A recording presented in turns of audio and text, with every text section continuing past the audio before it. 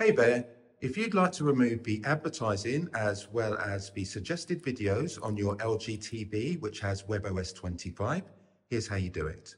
Grab your remote control and press and hold the settings button. Hold it for a couple of seconds and we will get the settings menu.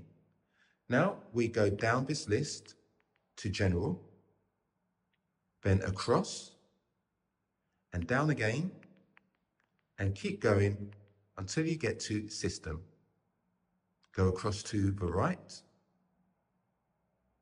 Once here, we go down the list again to additional settings. Now go across to the right. Down one to home settings. Press enter here. And we have three options. We're concerned with the bottom two.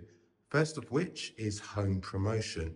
And it says you can set to show or hide sponsored advertisements that appear in the home menu.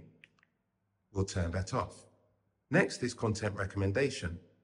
Display content recommendation categories in the home menu. Content recommendation may not be available in some countries. So let's toggle that off.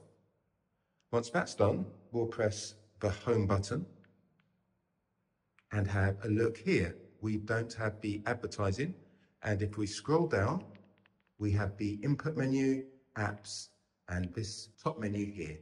So I hope that's helped. And if it has, please give the video a thumbs up and let me know which LG TV you have.